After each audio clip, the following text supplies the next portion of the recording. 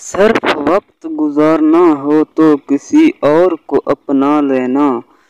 सिर्फ़ वक्त गुजारना हो तो किसी और को अपना लेना। हम प्यार और दोस्ती इबादत की तरह करते हैं। हम प्यार और दोस्ती इबादत की तरह करते हैं। रिश्ते दिल से बनते हैं, बातों से नहीं। रिश्ते दिल से बनते हैं, बातों से नहीं। कुछ लोग बहुत बातों के बाद भी अपने नहीं होते।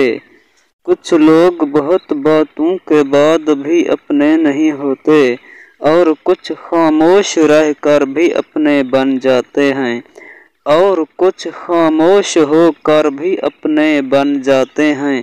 अच्छा दोस्तों, इस वीडियो को लाइक करके सब्सक्राइब करें और साथ दिए गए घंटी के निशान को भी ऑल पर अनेबल ज़रूर करें। क्योंकि हर नई आने वाली वीडियो का नोटिफिकेशन आप तक आसानी पहुँचता रहे।